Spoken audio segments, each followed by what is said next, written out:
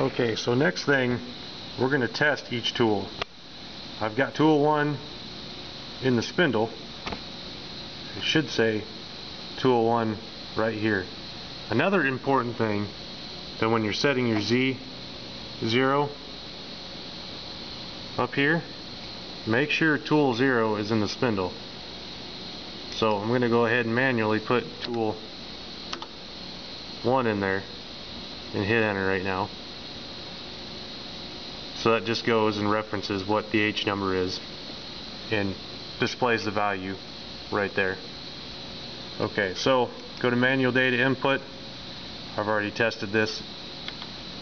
G0, move it rapid. G54, which is fixture offset 1. G43, in-state tool length compensation. H number matches the tool number in the spindle.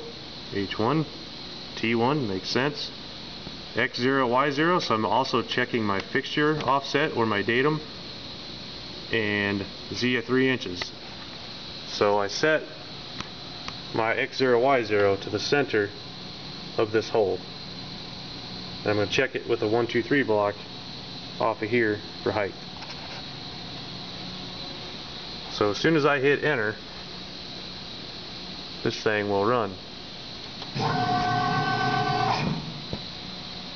There it is, right in the center of the part. I'm going to grab my 1, 2, 3 block, check my Z.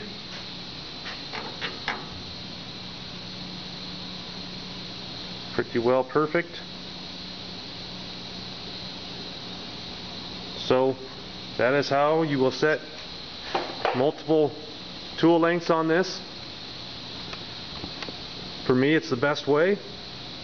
Nice thing about this is now if I put a different part in my vise or if I just set it on the table, however I do it, all I need to do is go back and touch my spindle nose, not the collet again, the spindle nose, to the top of the part and set my fixture offset Z0 and go ahead and run your program.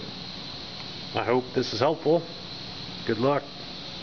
And remember, always manually check your tool lengths before you run any program.